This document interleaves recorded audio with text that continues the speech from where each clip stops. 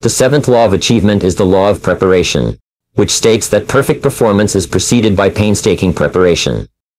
The mark of a serious person and a true professional in any field is that they take more time to prepare thoroughly than the average person does. The non-serious person or non-professional always attempts to bluff or wing it, trying to get by with a minimum of preparation without realizing that their level of preparation is immediately evident to everyone around them. One of my favorite quotes, which has had a powerful effect on shaping my life and attitude, comes from Abraham Lincoln, who said, I shall study and prepare myself, and someday my chance will come. He recognized, as do all great men and women, that painstaking and thorough preparation is the key to the future. The first part of the law of preparation is simply, do your homework.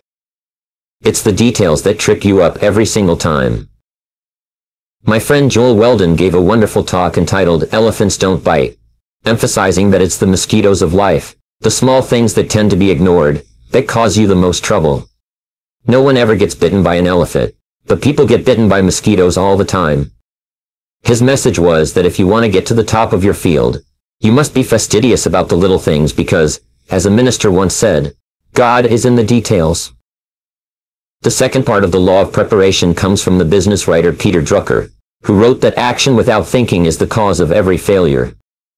Action without taking the time to think through the details and their possible ramifications seems to be the underlying cause of most failures in life. Conversely, action preceded by thinking and planning is the cause of virtually every success. This doesn't mean that you'll automatically be successful if you plan thoroughly in advance, but it means that you must almost inevitably fail if you don't do it. The third part of this law comes from Benjamin Tregoe, who said, if it's not worth doing, it's not worth doing well. Details are important, but you need to think through the value and importance of each detail before you overcommit your time and resources to them. The eighth law of achievement is the law of forced efficiency. This law states that the more things you have to do in a limited space of time, the more you will be forced to work on your most important tasks. This is another way of saying that there's never enough time to do everything, but there's always enough time to do the important things. The more you take on, the more likely it is that you'll be forced to think. Analyze and evaluate your tasks and activities in such a way that you spend your limited mental and physical energy on just those tasks that are most vital to your success. There are two parts to the law of forced efficiency. First, there will never be enough time to do everything that you have to do. The busier and more successful you become, the truer this statement will be. If you have lots of time to do your work, it means that you are underemployed, underpaid, and well along the low road to frustration and disappointment in your career. The fact is that you can only discover how much you can do by trying to do too much. You can only find out how far you can go by going too far. You discover how much you can take on by taking on more than you can do. The second part of this law, which is the key question in personal efficiency and time management, is to ask yourself continually, what is the most valuable use of my time right now? Always keep yourself on track and focus on your most important responsibilities by asking yourself, hour by hour and minute by minute, what is the most valuable use of my time right now? The ninth law of achievement is the law of decision. It says that every great leap forward in life is preceded by a clear decision that leads to action. All high-achieving men and women tend to be very decisive in their thoughts and actions. They think things through carefully, decide exactly what they want, and then make clear decisions, and take action to make those decisions a reality. In your life, you've had several experiences where you've been unsure of what to do, and you've resolved your dilemma by making a clear decision one way or the other. In looking back, you'll probably find that that was the turning point for you, and that everything else flowed from the decision. The ability to make good decisions is one of the most critical thinking skills of the successful man or woman. In fact, in one study, the careers of managers who were promoted rapidly were compared to those of managers who were passed over for promotion.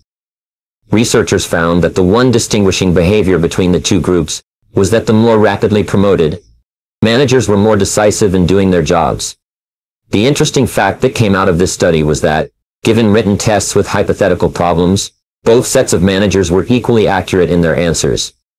The more successful managers, however, on the job, were willing to make decisions based on their answers, while the unsuccessful managers were afraid to, for fear of making a mistake. The very act of being decisive can be the critical factor that enables you to take command of a situation and move ahead more rapidly. We found that high achievers are not necessarily those who make the right decisions every time, but they are those people who make their decisions right. They accept feedback and self-correct.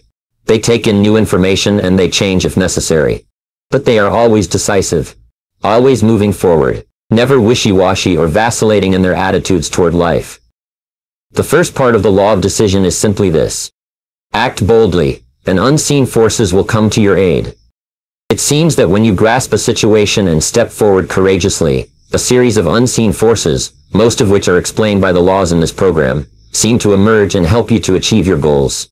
Your very willingness to take action, rather than to delay or procrastinate, seems to bring universal powers to your assistance. The second part of the law of decision comes from the wonderful book by Dorothea Brande, entitled Wake Up and Live. She wrote that the discovery that changed her life and the lives of thousands of others who heard it from her in her public talks was the simple success formula that says, act as if it were impossible to fail, and it shall be. When you imagine that your success will be guaranteed if you simply take action, and you act on that premise, a whole series of forces begins to support you and move you toward the attainment of your desires. So when in doubt, act as if it were impossible to fail, and push forward. The third part of the law of decision comes from the famous Nike commercial, which says, just do it. These three words really summarize one of the great formulas for success. Just do it. So be decisive, go for it, take a chance, act boldly, and unseen forces will come to your aid. The tenth law of achievement is the law of creativity. It says that every advance in human life begins with an idea in the mind of one person. It's ideas that you generate that enable you to solve your problems, overcome your obstacles, and achieve your goals. Ideas are the keys to the future. It's hardly possible for you to achieve anything of note, except to the degree to which you think and do something new and different from what's been done before. All it takes is a small innovation to lay the foundation for a fortune and great success in life. The first part of this law says that your ability to generate constructive ideas is, to all intents and purposes, unlimited. Therefore, your future potential is unlimited as well. Ideas are a mode of transportation, a vehicle that you can use to take you from wherever you are to wherever you want to go. Your job is simply to generate as many ideas as possible, to evaluate them carefully against your current goals, and then to take action on them. There's virtually no obstacle in life that you cannot overcome with the power of thought, with the power of creative concentration, with the power of ideas. The second part of this law comes from Napoleon Hill, who said in his famous words, Whatever the mind of man can conceive and believe, it can achieve. Your mind is structured in such a way that you cannot, at the same time, have an idea, and not also have the ability to bring that idea into reality. The very existence of an idea in your conscious mind means that you have within you and around you the capacity to achieve it. The only question you have to ask yourself is, how badly do I want it? The third part of the law of creativity comes from Napoleon Bonaparte, who said, Imagination rules the world. Everything you see around you is the result of what was initially a single idea in the mind of a single person. Our entire world started from thought, brought into reality. The fourth and final part of this law comes from Einstein, who said simply that, imagination is more important than facts. There have been countless occasions in your life, in the lives of others, where the facts say one thing, but your ideas and creative energy enable you to do something completely different. Virtually every important turning point in your life will be marked by an idea that you've had at that time and moment. All great changes in human life and human destiny begin with an idea that causes you to see things differently, and to take action that you would not have taken in the absence of that idea. Wherever you are, whatever you're doing, whatever your situation, you have the creative capacity in the form of an infinite ability to generate ideas to solve any problem and achieve any goal. It's up to you. The eleventh law of achievement is the law of flexibility. This law says that success is best achieved when you are clear about the goal, but flexible about the process of getting there. This is one of the most important conclusions ever reached by high-achieving men and women. When you set a clear goal for yourself and make a plan, you usually have a fairly good idea of what it is you have to do to get whatever it is you want to achieve. However, a thousand things can change. each of which will require alterations in your plan of action. The most optimistic and enthusiastic people are those who are open, flexible and fluid in the face of the inevitable, and the myriad changes required as they move toward the accomplishment of something that's important to them. The first part of the law of flexibility is that the experience of resistance and frustration is often an indication that you're doing the wrong thing. Whenever you feel that you're butting your head against the wall and not making progress, step back and re-examine your plan. Be sure that the goal you're working toward is still the goal that you desire, and then sit down and make better plans. Take the mentality of a computer programmer. When he designs a computer program, he knows that the program will be full of defects when it's completed. No computer program ever works perfectly the first time it's tried. However, the programmer accepts this as a factor of life, and then begins to go back through the program step by step to remove the defects. When the programmer is finished, the program will operate perfectly. By the same token, whenever your plans don't seem to be bearing fruit, look in the mirror, re-examine your plans, and redesign them until you have faultless plans that work, and move you forward without anxiety and frustration. The second part of the law of flexibility is that you are only as free in life as the number of developed options that you have available to you. Your freedom and happiness are largely determined by the number of alternatives that you've developed in case your first choice doesn't work. The more thoroughly developed your options and alternatives, the more freedom you have if one course of action doesn't develop as you expected. You're fully prepared to switch. In my courses on decision making, once the decision has been reached, I encourage the participants to ask the question, what else would be a good decision in this situation? The very exercise of developing alternatives enables you to think more clearly and can be a major contributor to the level of achievement that you experience. The third part of the law of flexibility is that crisis is change trying to take place. Whenever you're experiencing a crisis or difficulty of any kind, step back for a moment and ask yourself, what change is trying to take place that is being signaled to me as a result of this crisis? You may be having a crisis in your work, in your personal relationships, with your health, or with your business. In almost every case, a crisis is an indication that something is wrong, and that pursuing the same course would be unwise. So, what is the change that's trying to take place in your life right now? The fourth part of the law of flexibility is that errant assumptions lie at the root of every failure. Almost every failure you have will be based on an incorrect assumption that you've made and accepted without question. It's always a good exercise to clarify your assumptions, especially when things aren't going as well as you want. So, first, what are your explicit assumptions? These are the ones you're clearly aware of. Second, what are your implicit assumptions? These are the ones you may be accepting without question. What if your most cherished assumptions were wrong? What changes would this dictate?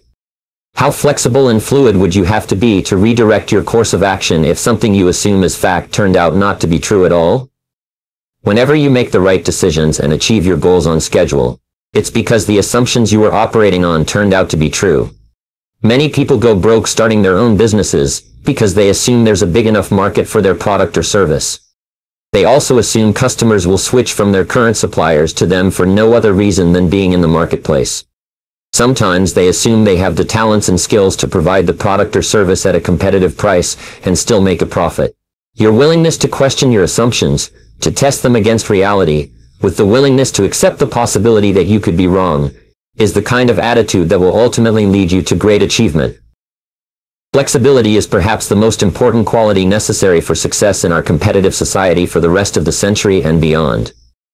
The twelfth law of achievement is the law of persistence. This law says that your ability to persist in the face of setbacks and disappointments is your measure of your belief in yourself and your ability to succeed. Persistence is the iron quality of success. Sometimes, your willingness to persist is your greatest asset, and is the quality that separates you from everyone else. Sometimes, the strongest thing you have going for you is your ability to persist longer than anyone else. The first part of the law of persistence is simply that persistence is self-discipline in action. It's when you face the inevitable setbacks, delays, disappointments, and temporary defeats, and you continue to persist in spite of them, that you demonstrate to yourself and others that you have the character of self-discipline and self-mastery that is absolutely indispensable for the great success that you desire. Churchill summarized the second part of the law of persistence when he said, Never give up, never, never give up. Churchill believed, and he proved throughout his lifetime, That bulldog tenacity in the face of what appeared to be overwhelming defeat was often the critical quality that turned that defeat into victory. Earlier, I mentioned that intense burning desire is essential to overcoming obstacles and achieving great goals. For your desire to be intense enough, your goals must be purely personal. They must be goals that you choose for yourself, rather than goals that someone else wants for you, or that you want to achieve to please someone in your life. In goal setting, for the process to be effective, you must be perfectly selfish about what you really, really want for yourself. This doesn't mean that you cannot do things for other people, either at home or at work. This simply means that in setting goals for your life, you start with yourself and work forward. The great question, one of the most important questions in goal setting, is this. What do I really want to do with my life? If you could do, be, or have anything at all in life, what would it be? Remember, you can't hit a target you can't see. You should return to this question over and over again in the months and years ahead. What do I really want to do with my life? In determining your true goals, you start with your vision, your values, and your ideals. When you begin, these will often feel a bit like fantasies detached from reality. However, now your job is to make them concrete, like designing a dream house on paper. You start with your general goals and then move to more specific goals.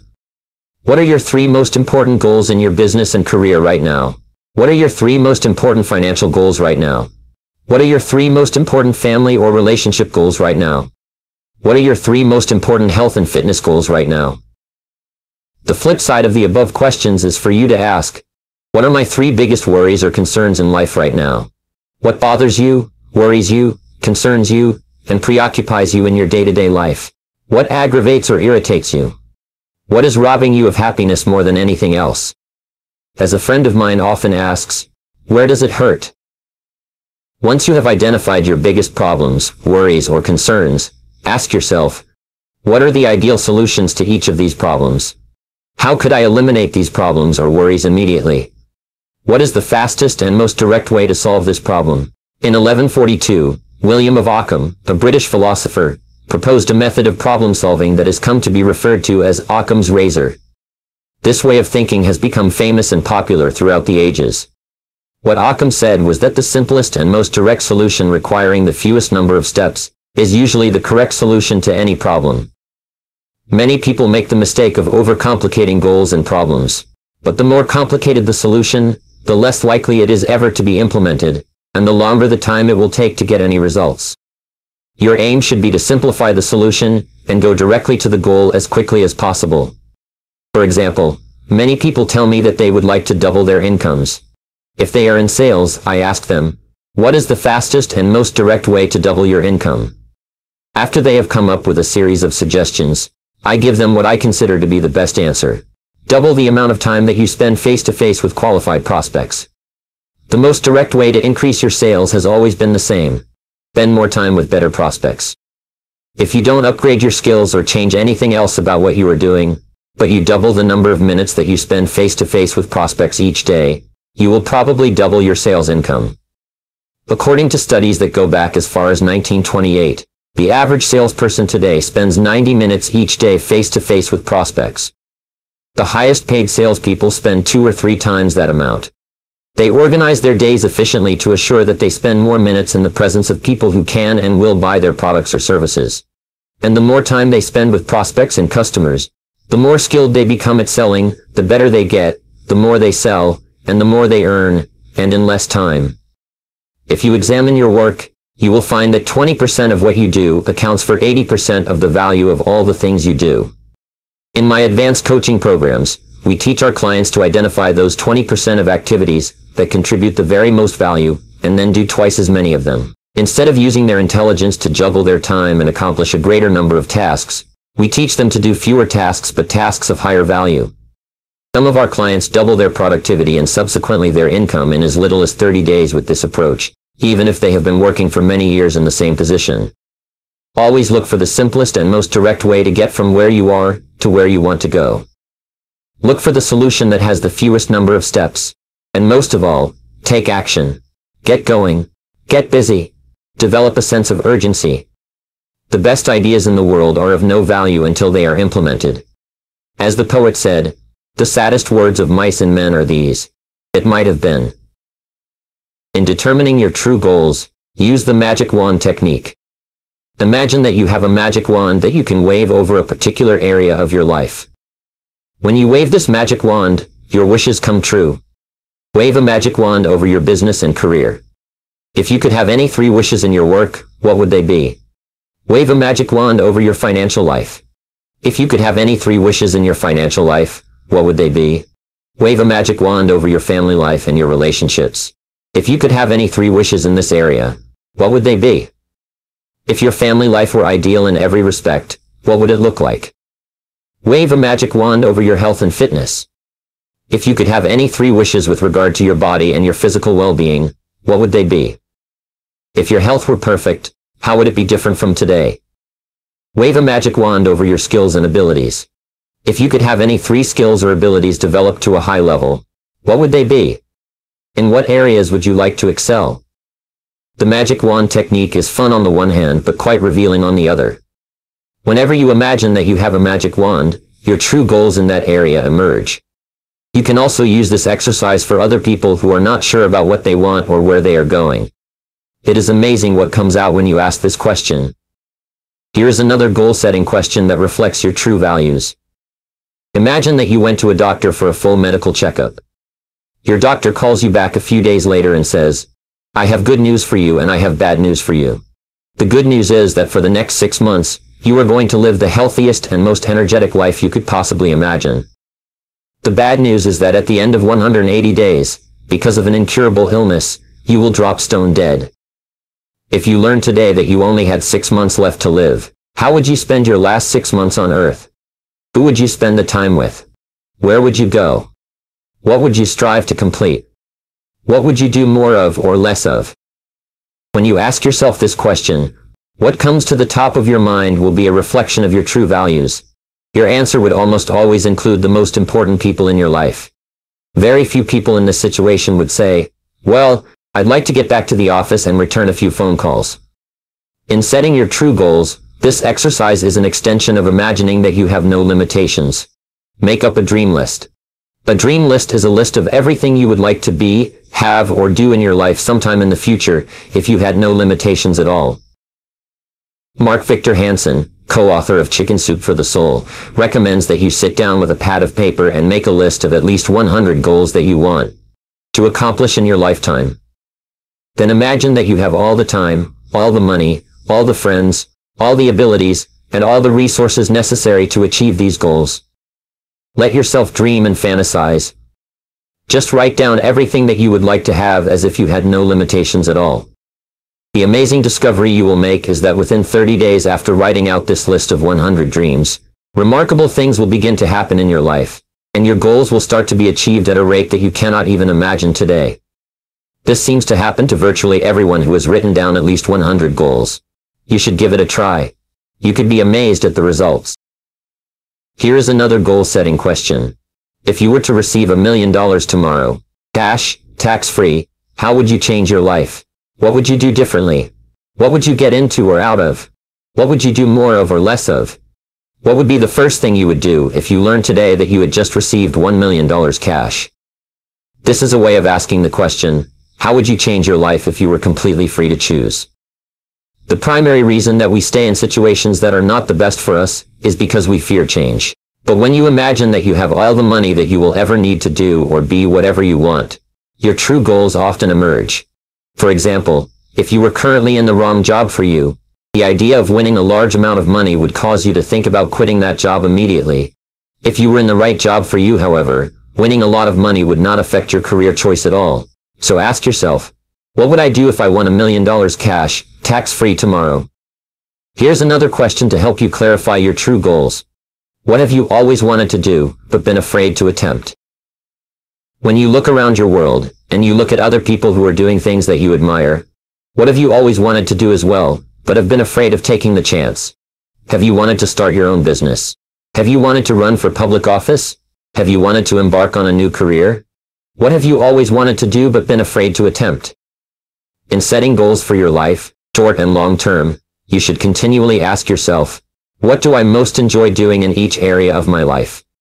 For instance, If you could do just one thing all day long in your work, what would it be?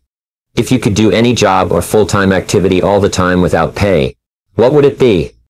What sort of work or activity gives you the greatest joy and satisfaction?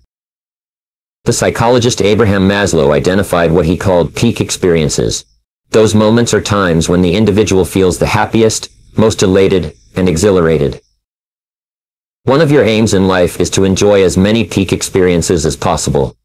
You achieve this by thinking back and identifying those moments of peak experience in your past, and by imagining how you could repeat them in your present and future. What have been your happiest moments in life up to now? How could you have more of those moments in the future? What do you really love to do? You should have goals for social and community involvement and contribution as well.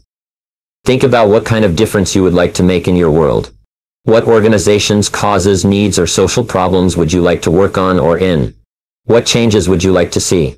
Who is there who is less fortunate than you that you would like to help? If you were independently wealthy, what causes would you support most of all?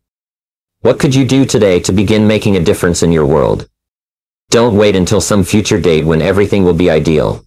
Instead, start today in some way. One of the most important areas of goal setting is your financial life. If you can earn and accumulate all the money you need, you could probably achieve most of your non-financial goals faster and easier than you can today.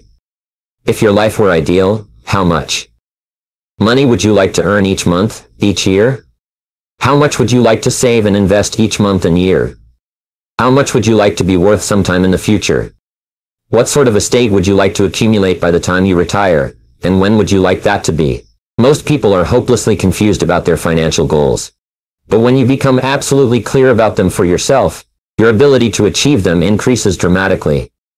When you are absolutely clear about what you want, you can then think about your goals most of the time, and the more you think about them, the faster they will materialize in your life. This process of asking yourself questions about your goals in each part of your life begins to clarify your thinking and make you a more focused and definite person. As Zig Ziglar says, you move from being a wandering generality to becoming a meaningful specific. Most of all, you reach the point where you can determine your major definite purpose in life. This is the springboard for great achievement and extraordinary accomplishment. Your major definite purpose will be the topic of the next chapter, and how to achieve it will be the subject of the chapters to come. Determine your true goals. Write down your three most important goals in life right now. What are your three most pressing problems or worries right now? If you won a million dollars cash tax free tomorrow, what changes in your life would you make immediately? What do you really love to do? What gives you the greatest feelings of value, importance, and satisfaction? If you could wave a magic wand over your life and have anything you wanted, what would you wish for? How would you spend your time if you only had six months left to live? What would you really want to do with your life, especially if you had no limitations? How many times do you think that people try to achieve their new goals before they give up? The average is less than one time. Most people give up before they even make the first try. And the reason they give up is because of all the obstacles, difficulties, problems, and roadblocks that immediately appear as soon as you decide to do something you've never done before. The fact is that successful people fail far more often than unsuccessful people. Successful people try more things, fall down, pick themselves up, and try again over and over again before they win through. Unsuccessful people try a few things, and if they try at all, very soon quit, and go back to what they were doing before. You should expect to fail and fall short many times before you achieve your goals. You should look upon failure and temporary defeat as a part of the price you pay on your road to success. As Henry Ford once said, failure is merely an opportunity to more intelligently begin again. Once you have decided upon your goal, Ask yourself, why am I not there already? What is holding me back? Why haven't I achieved that goal up to now? Identify all the obstacles that stand between you and your goal. Write down every single thing that you can think of that might be blocking you or slowing you down from moving ahead. Remember, you become what you think about most of the time. In the area of problems and difficulties, successful people have a particular way of thinking that we call solution orientation. Successful people think about solutions most of the time, while unsuccessful people think about problems and difficulties most of the time. Solution-oriented people are constantly looking for ways to get over, around, and past the obstacles that stand in their ways. Problem-oriented people talk continuously about their problems, about who or what caused them, how unhappy or angry they are, and how unfortunate it is that they have occurred. Between you and anything you want to accomplish, there will always be problems or obstacles of some kind. This is why success is sometimes defined as the ability to solve problems. Personal leadership is the ability to solve problems. Effectiveness is the ability to solve problems. While men and women who accomplish anything of importance are people who have developed the ability to solve the problems that stand between them and their goals. Fortunately, problem solving is a skill like riding a bicycle or typing with a typewriter which you can learn. And the more you focus on solutions, the more and better solutions will come to you. The better you get at solving problems, the faster you will be at solving each subsequent problem. And as you get better and faster at solving problems, you will attract even bigger and more expensive problems to solve. Eventually, you will be solving problems that can have significant financial consequences for you and others. This is the way the world works. The fact is that you have the ability to solve any problem or to overcome any obstacle on the path to your goal, if you desire the goal intensely enough. You have within you right now all the intelligence and ability you will ever need to overcome any obstacle that could possibly hold you back. One of the most important breakthroughs in thinking in the last few decades was described by Eliyahu Goldratt in his book The Goal, as the theory of constraints. This theory says that between you and anything you want to accomplish, there is a constraint or limiting factor that determines how fast you get to where you want to go. For example, if you are driving down the freeway, and there is traffic construction that is narrowing all the cars into a single lane. This bottleneck or choke point becomes the constraint that determines how fast you get to your destination. The speed at which you pass through this bottleneck will largely determine the speed of your entire journey.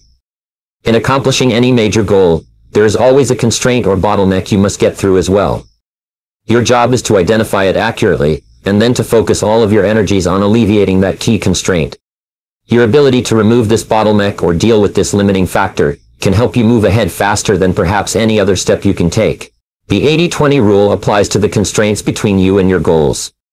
This rule says that 80% of your constraints will be within yourself. Only 20% of your constraints will be outside of yourself, contained in other people and situations. To put it another way, it is you personally who is usually the major roadblock that is setting the speed at which you achieve any goal that you set for yourself. For most people, this is hard to accept.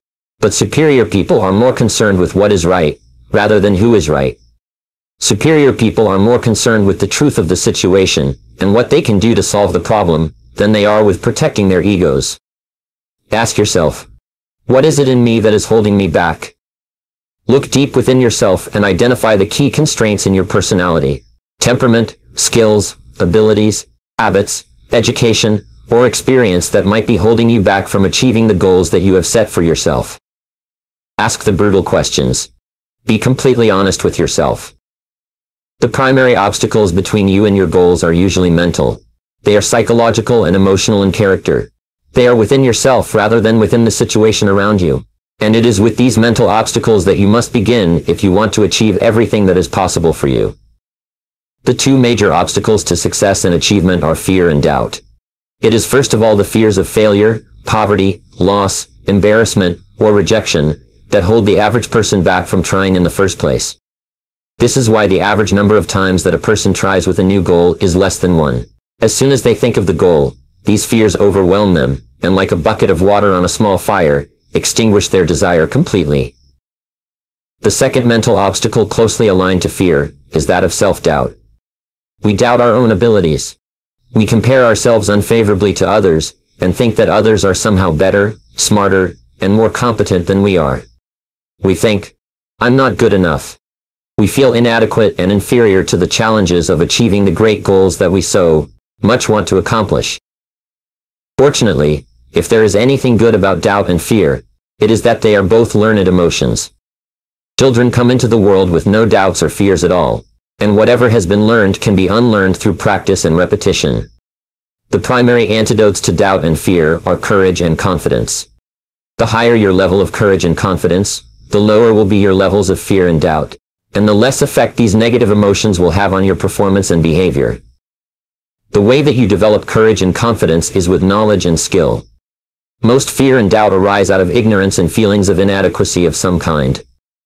The more you learn the things you need to know to achieve your goals, the less fear you will feel on the one hand, and the more courage and confidence you will feel on the other. Think about learning to drive for the first time. You were probably extremely tense and nervous and made a lot of mistakes. You may have driven erratically and been a danger to yourself and others. But over time, as you mastered the knowledge and skills of driving, you became better and better, and your confidence increased. Today you can quite comfortably get into your car and drive across the country with no fear or worry at all. You are so confident at driving that you can do it well without even thinking about it. The same principles apply to any skills you need to learn to achieve any goal you can set for yourself. Dr. Martin Seligman of the University of Pennsylvania spent more than 25 years studying the phenomenon of what he called learned helplessness. Seligman concluded that more than 80% of the population suffers from learned helplessness to some degree, and occasionally to a very high degree indeed. A person suffering from learned helplessness feels that he or she is incapable of achieving his or her goals or improving his or her life. The most common manifestation of learned helplessness is contained in the words, I can't. Whenever the victim of learned helplessness is offered an opportunity, possibility, or new goal, he immediately responds by saying, I can't. He then goes on to give all the reasons why a particular goal or objective is not possible for him. The way you get over this natural tendency to sell yourself short is by setting small goals, making plans, and working on them each day. In this way, you gradually develop greater courage and confidence, like building up a muscle. As you become more confident in yourself and your abilities, you can set even larger goals.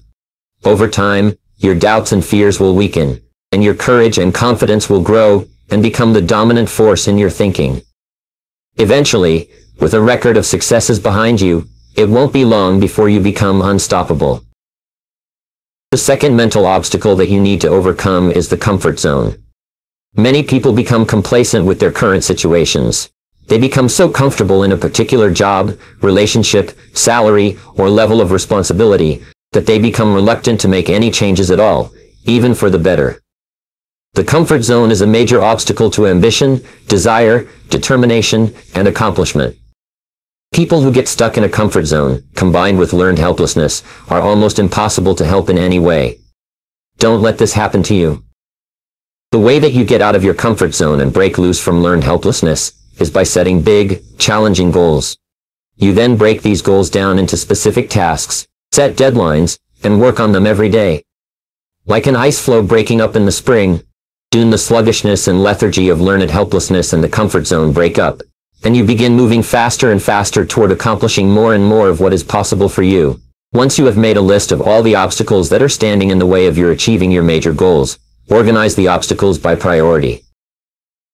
What is the largest single obstacle? If you could wave a magic wand and remove one major obstacle from your path, which one obstacle, if removed, would help you the most in moving ahead more rapidly? Management consultant Ian Mitroff has an interesting set of observations with regard to problem solving and the removal of obstacles. He says that whatever the problem, define it several different ways before you attempt to solve it. Beware of any problem for which there is only one definition or only one solution. When you ask the question with regard to your goal, why am I not there already? What answer comes to mind? What is holding you back? What is standing in your way? It is at this point that you have to drill down to determine the correct obstacle. Before you begin taking steps to remove it, you do this by asking the question, what else could be the problem? After each definition of the problem, you could start off by stating the problem in this way. I'm not earning enough money. What else is the problem? I'm not contributing enough value to be worth more money. What else could be the problem? I'm not good enough at what I do to be capable of getting results that are worth more than I'm earning today. Once you have determined the major obstacle that is holding you back, rewrite that obstacle as a positive goal. For example, you could now say, my goal is to continually upgrade my skills and abilities so that I am in the top 10% of money earners in my field. You then make a list of all the things that you could do to upgrade your knowledge and skills, improve your time management, increase your efficiency and effectiveness, and make more sales for your company. You set deadlines and measures next to each step in your strategy to achieve excellence in your field. You then select one key task and take action on it immediately. From then on, You hold your own feet to the fire. You become your own taskmaster. You discipline and drive yourself to do the things that you need to do, to become the kind of person you need to become, in order to achieve the goals that you have set for yourself. This exercise of identifying what is holding you back, and then setting a clear written goal to remove that obstacle, puts you back in control of your own life. By following through on your resolution, you virtually guarantee your ultimate success, and the achievement of almost any goal you can set for yourself. If you have any questions or concerns about the accuracy of your problem definition, discuss it with someone you know and trust. Put your ego aside, invite honest feedback and criticism, and be open to the possibility that you have fundamental flaws and weaknesses that are standing in the way of your realizing your full potential. Be brutally honest with yourself. Once your problem or obstacle is clear to you, ideas, opportunities, and answers will come to you from various sources. You will begin to attract into your life all kinds of resources that will help you to overcome the obstacle or difficulty, either within yourself or within the situation around you, and move you more rapidly toward your goal. Remember the old poem. For every problem under the sun, there is a solution, or there is none. If there is a solution, go and find it. If there isn't, never mind it. For every problem or obstacle that is standing between you and what you want to accomplish, there is a solution of some kind, somewhere. Your job is to be absolutely clear about what sets the speed at which you achieve your goal, and then to focus your time and attention on alleviating that constraint by removing your major obstacle. You will often make more progress in a few months than the average person might make in several years. Your ability to develop and use your inborn creativity will determine your success in life as much or more than any other single factor. Each time you focus your mind on solving a problem and come up with an idea or an insight, you actually experience a positive feeling of excitement, energy, and joy. Using your creativity systematically gives you a greater sense of control over your life, boosts your self-esteem, and moves you ahead toward achieving your goals. Creativity is vital to your success. We've all heard the statistic that the average person uses less than 10% of his or her mental capacity. Well, recent research at Stanford University suggests it is closer to 2%, surely not more than 5. It means that compared to what you could be, you are only enjoying a small part of your existing potential. Children tested between the ages of 2 and 4 test out at 95% highly creative. When the same children are tested later at age 7, only 4% of them are still highly creative. Between the ages of 4 and 7, children who are naturally curious, and by the way curiosity is a hallmark of creativity, are told over and over to stop asking so many questions. The innate curiosity and creativity are stifled, and the child begins to conform in order to be free of criticism, and the feelings of guilt and inferiority caused by criticism. As adults most people resist change, fear new things, avoid asking questions, and stick rigidly to established ways.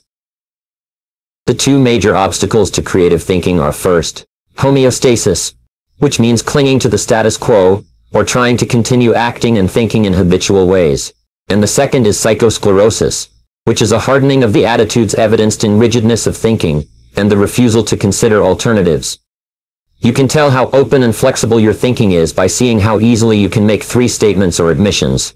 How easily can you say, I was wrong, I made a mistake, especially to your children, to your spouse, and to your subordinates.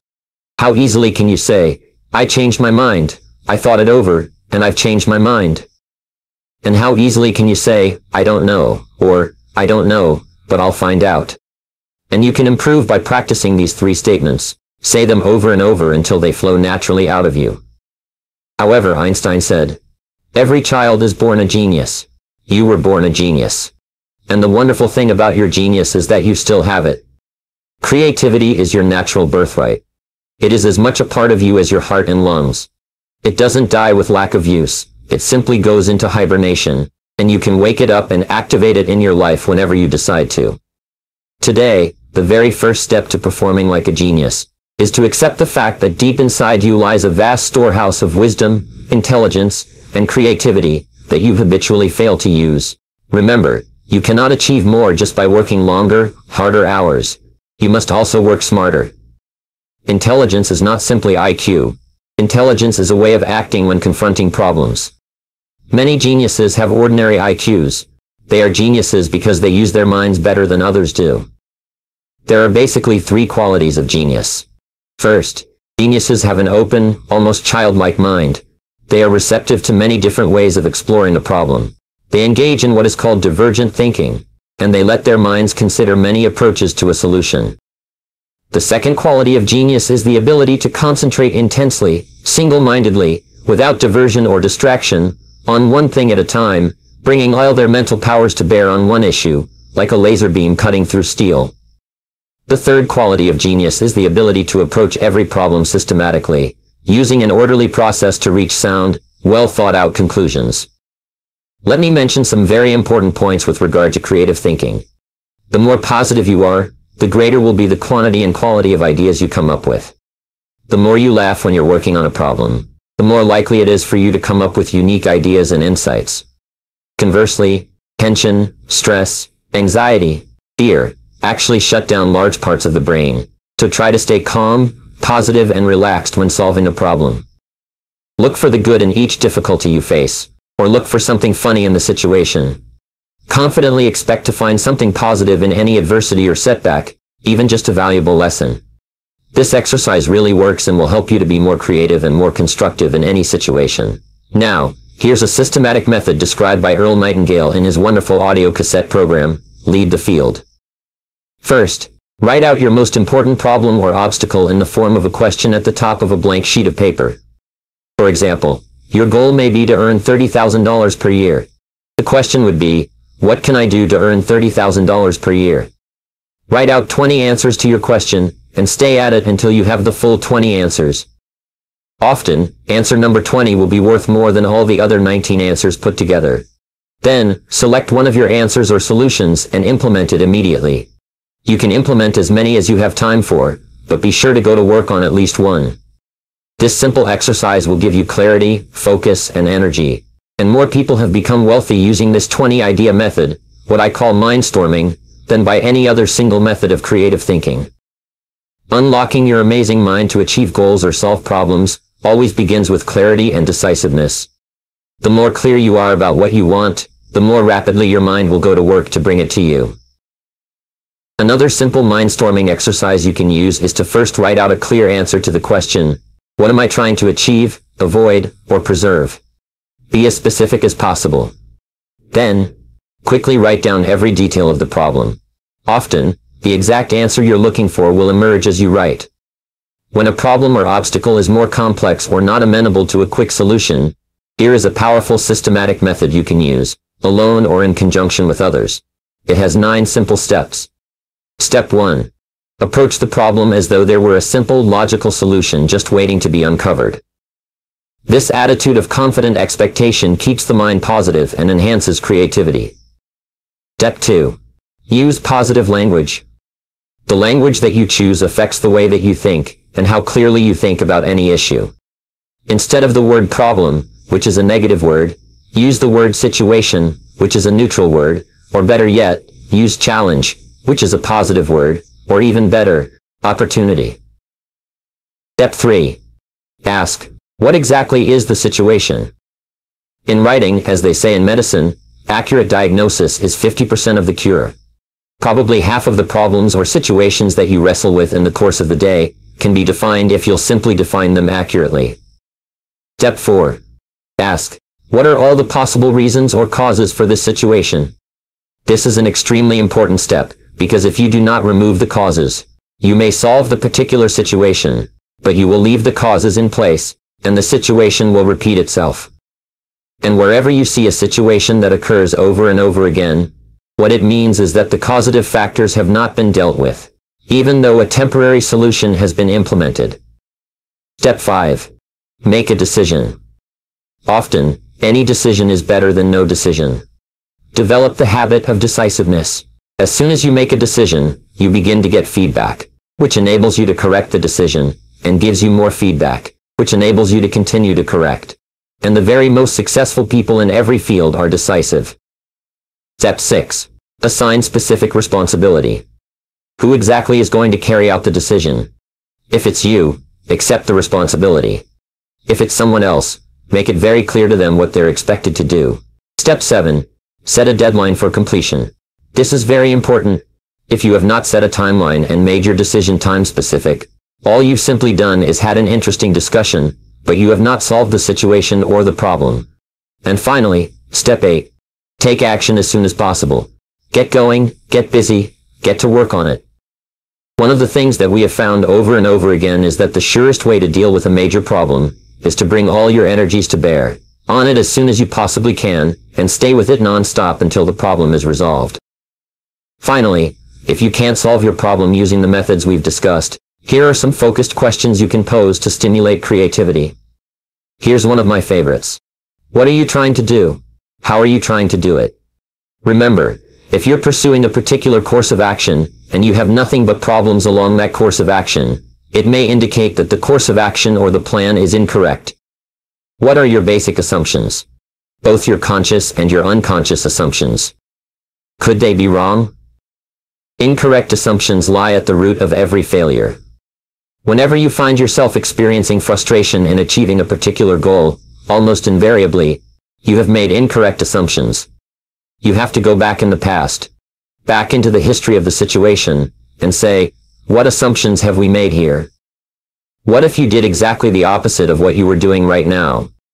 Consider doing exactly the opposite of your current course of action, and then think about doing the opposite of that. Very often you'll come up with some very creative ways to approach the situation. Be willing to draw a line under everything you're doing today. Imagine starting over with a clear slate, knowing what you now know differently. What would you change? What would you get into or get out of? Most of all, what are you going to do about it? When are you going to do it? Here are seven points to remember on creativity. As long as there are people's needs unmet and human problems unsolved, there are opportunities for you to innovate and move ahead. All you need to do is be 10% new in any field to start a fortune. Look for ways to improve what is being done by doing it faster, cheaper, better, easier. Improvements of any kind offer great opportunities. Look into yourself for the solutions to the dilemmas that you face every day. Read continually in your field, research, study, take courses, attend trade shows. Sure, it's time consuming and hard work. That's why failures never do it. To increase your income, look continually for new ways to give people what they want. Look at what your competition is doing successfully, learn from them, copy them if necessary, and then do it better. Cherish your mistakes and learn from your failures. They contain valuable lessons that you will need to be successful. Approach every problem or difficulty as though it were sent to make you smarter and stronger. Finally, learn to trust your intuition. Trust yourself. Remember that you are a genius to the degree to which you accept your genius and act upon it, applying your wonderful mind to the challenges of opportunity that confront it.